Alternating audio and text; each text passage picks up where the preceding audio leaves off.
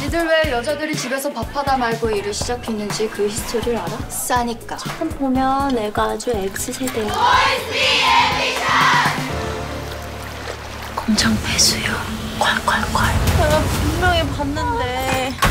아, 그니까 누구냐고.